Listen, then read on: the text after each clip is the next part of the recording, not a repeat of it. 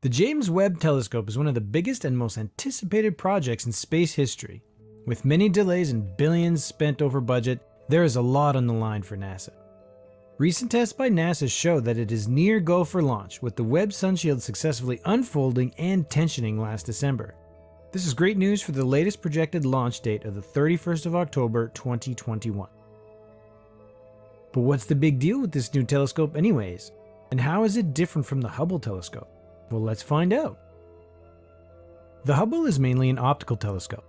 This allows the telescope to capture a very similar range of wavelength to the human eye. It can only capture some of the infrared wavelength, which is where a lot of the valuable image data is hidden.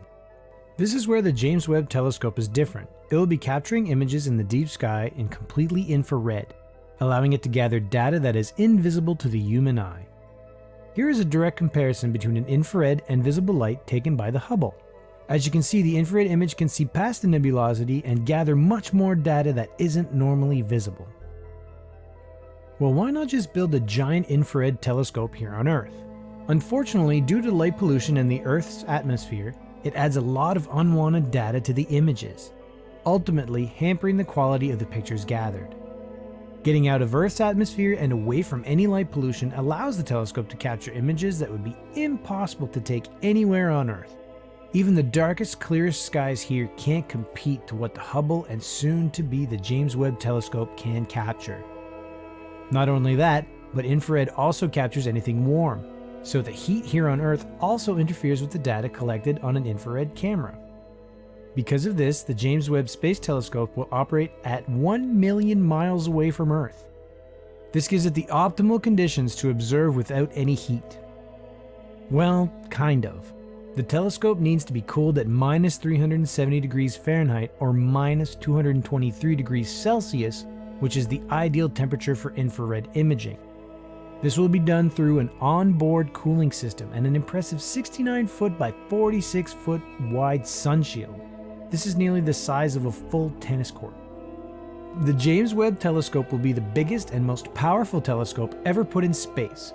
No other telescope beats the complexity and engineering of this one. It is 100 times more powerful than the Hubble telescope and has a much, much bigger mirror. The Hubble's primary mirror is 2.5 meters in diameter, while the Webb's is a whopping 6.5 meters, which can gather a lot more light. The whole point of these telescopes is to get a better understanding of our universe and try to comprehend just how it all started. To do that, we need to look as far back into the future as possible. So just how far back can we see with the James Webb Telescope? A great analogy is the Hubble can see the equivalent of toddler galaxies, while Webb can see baby galaxies. Why is this the case? Well, the big mirror certainly helps, but also because it's an infrared telescope. This data will help scientists try to understand the Big Bang Theory and how the universe began. But why is it important to understand galaxies? Good question. Galaxies show us how the universe is arranged on a very large scale. To understand the universe, we first need to understand why it's organized the way it is. We need to learn how the universe was once organized and how it has changed throughout time. Galaxies can help us with that. Some of the galaxies the James Webb Telescope will be studying are super young, so it allows us to compare those galaxies with the galaxies we know of today and try to make a connection between the two. What we do know is that they are constantly forming, colliding, and merging to form new galaxies. Did you know that we're going to collide with Andromeda in the near future? Well, 4.5 billion years, so kind of near. Another important task that the Webb project hopes to complete is to gain a better understanding of how stars and planetary systems are formed. Again, this is the massive advantage an infrared telescope has. It allows us to see through the dust and gas that's in space and can show a lot more detail that would be hidden in the more usual wavelengths. Scientists don't know how clouds and dust collapse to create stars and why they form in groups. The data collected by the Webb telescope will hopefully help to shed light on those questions and provide the answers needed to gain an understanding of our very confusing universe. On a personal level, I'm most looking forward to the Webb's role in searching for life on another planet and finding exoplanets and planets similar to ours.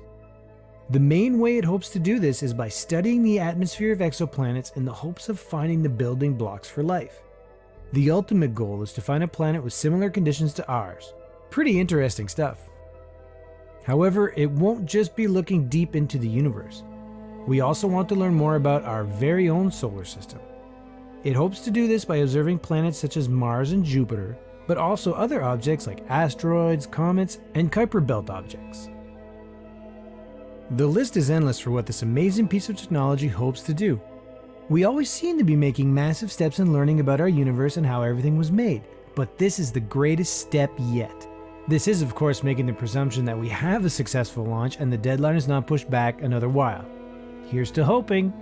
A lot of time and research goes into these videos, so why not leave a like and maybe even subscribe if you enjoy it. That's all for now, and thanks for watching.